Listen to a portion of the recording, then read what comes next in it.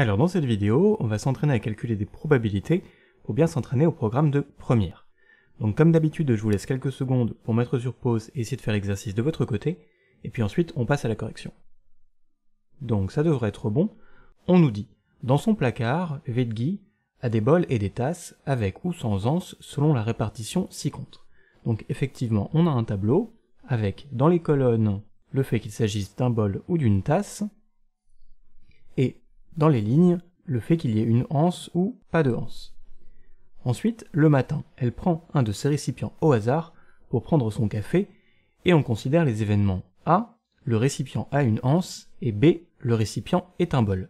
Donc notre probabilité A, on va la mettre en violet, c'est la probabilité donc qu'il y ait une anse, c'est-à-dire ça correspond au total avec anse, c'est cette partie. Et la probabilité B, on va la mettre en bleu, ça correspond au fait que le récipient soit un bol, donc ça correspond au total des bols qui est ici. Donc ça c'est A, et ça c'est B.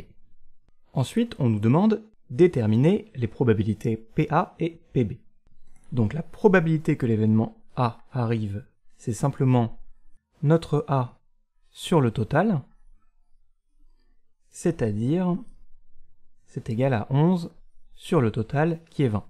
Donc la probabilité que A arrive est de 11 sur 20. Ensuite, la probabilité que B arrive, c'est la même chose, c'est B sur le total, c'est-à-dire c'est égal à 8 sur 20, et on peut simplifier, c'est égal à 4 sur 10. Et pour le dire plus clairement, il y a 11 chances sur 20 que le récipient ait une anse, et il y a 4 chances sur 10 que le récipient soit un bol. Ensuite, petit 2, décrire chacun des événements A et B, A ou B, non A et B, etc. par une phrase et donner sa probabilité. Alors le premier événement, A et B, puisque donc ça, ça veut dire et, ça veut dire que la probabilité doit à la fois être A et B, que le récipient ait à la fois une anse et que ce soit un bol. Donc on va voir dans notre tableau ce à quoi ça correspond. Il faut que le récipient ait une anse, ça se situe ici, et que ce soit un bol. Donc on a deux chances sur 20, 2 sur le total, qui est 20 toujours, et on peut simplifier, ce qui nous fait une chance sur 10. Ensuite, on nous demande A ou B. A ou B. Donc, ce symbole, le U, ça veut dire ou, ce qui veut dire que le récipient peut à la fois avoir une anse ou être un bol. Donc finalement, à chaque fois qu'on va rencontrer une anse, c'est possible. Donc ici, c'est possible. Ici, c'est également possible. Et ça peut également être un bol, donc ici, c'est également possible. Ce qui fait qu'on a 2 plus 9 plus 6, toujours sur le total, ce qui nous donne 2 plus 9, 11, plus 6, 17, 17 chances sur 20 pour que le récipient soit soit un bol, soit qu'il ait une anse. Et on va mettre ça à côté de notre probabilité qui était ici. Et enfin, on nous demande non A. Alors lorsqu'il y a une barre comme ça au-dessus d'une probabilité, ça veut dire non. On retrouve notre symbole et B. Ce qu'on nous demande, c'est donc que le récipient n'a pas de anse et est un bol. Alors, pas de anse, du coup, ça va exclure toute cette partie du tableau. Et on doit également trouver un récipient qui soit un bol. Donc ça va nous situer ici, et on va avoir une probabilité qui est donc de 6 sur 20. On peut simplifier, ça nous donne 3 sur 10. Ensuite, troisièmement, on nous demande écrire l'événement le récipient est une tasse sans anse à l'aide des événements A et B. Alors on voit c'est complètement l'inverse de nos événements A et B, puisque B c'est un bol, donc c'est l'inverse d'une tasse. Du coup on va avoir qui n'est pas un bol, avec un B et un trait au-dessus, ça veut dire non bol.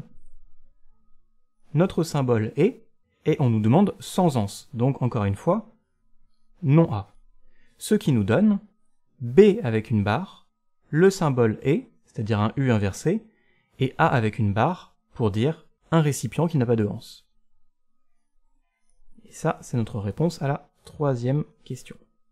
Ensuite, petit 4, associer chacune des phrases suivantes à la valeur qui correspond. Donc on va nettoyer un petit peu notre tableau pour y voir plus clair. Probabilité qu'une tasse ait une anse. On va donc rechercher simplement dans la colonne des tasses, puisque c'est que les tasses qui nous intéressent ici, les tasses qui ont une anse. Et donc il y en a 9. Sur le total des tasses, qui est 12, le petit 1 est associé au petit c. Ensuite, la probabilité qu'un récipient à anse soit une tasse, donc on se situe dans notre ligne des anses, puisque c'est que ça qui nous intéresse. Les tasses, il y en a 9, donc il y en a 9 sur 11, et le petit 2 est associé avec le petit b. Et enfin, par déduction, en théorie, le petit 3 est associé au petit 1, mais on va simplement vérifier. C'est la probabilité qu'un récipient soit une tasse à anse. Donc le total des récipients, ça va être 20, puisqu'ici c'est à la fois les bols et les tasses. Et une tasse avec anse, il y en a toujours 9. Donc cette fois-ci, c'est 9 sur 20, c'est-à-dire le petit a.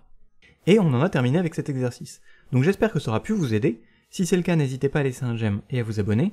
Et puis on se voit dans une prochaine vidéo.